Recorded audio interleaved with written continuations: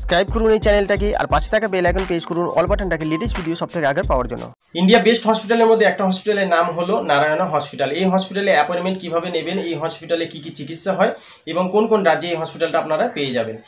নমস্কার বন্ধুরা, আমার নাম বিজয়, আর আপনারা দেখছেন টপ টেন টপিক চ্যানেল যারা নতুন এসেছেন আমার চ্যানেলে চ্যানেলটিকে অবশ্যই সাবস্ক্রাইব করে নেবেন এবং বেল আইকন অবশ্যই প্রেস করে দেবেন, তাতে নতুন ভিডিওগুলো নোটিফিকেশনের মাধ্যমে আপনারা পেয়ে যাবেন। চলুন ভিডিওটিকে স্টার্ট করি।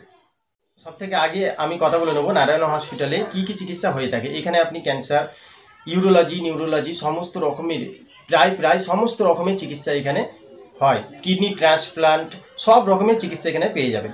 এবার আমি কথা বলে নেব যে কোন কোন জায়গা, কোন কোন রাজ্যতে এই হসপিটাল আপনি পেয়ে যাবেন। প্রায় সমস্ত রাজ্য, ইন্ডিয়ার সমস্ত রাজ্যতে এই হসপিটালটা আপনি পেয়ে যাবেন। যেমন এক্সাম্পল থ্রু কলকাতা, হাওড়া আহমেদাবাদ দিল্লি, মুম্বাই, সব জায়গাতে নারায়ণ হসপিটাল আপনি পেয়ে যাচ্ছেন।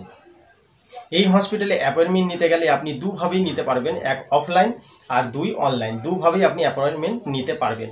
অনলাইনে অ্যাপয়েন্টমেন্ট নিলে আপনার সুবিধা হবে এবং অফলাইনে অ্যাপয়েন্টমেন্ট নিলে কিন্তু অসুবিধা হবে। অফলাইন মানে ওখানে গিয়ে আপনাকে হসপিটালে অ্যাপয়েন্টমেন্ট নিতে হবে। তারপরে আপনাকে ডাক্তার দেখাতে হবে। এই প্রসেসটা যদি আপনি ধরেন তাহলে কিন্তু আপনার টাইমটা কিন্তু অনেক বেশি লাগবে।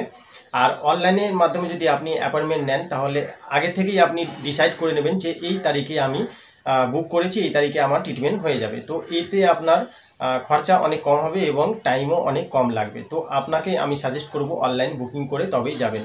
আর অনলাইন অ্যাপয়েন্টমেন্ট কীভাবে নিতে হয় সেটা আমি নেক্সট ভিডিওতে জানিয়ে দেবো। বেশি বেশি করে কমেন্ট করুন এবং কমেন্টে আমাকে জানান যে অ্যাপয়েন্টমেন্ট কীভাবে নিতে হয়। এই বিষয়ে আমি ভিডিও বানাবো কি বানাবো না। আর লাইক অবশ্যই করে দেবেন। আজকের মতো ভিডিওটা এখানেই শেষ করছি। ভালো থাকবেন, ভালো রাখবেন নমস্কার।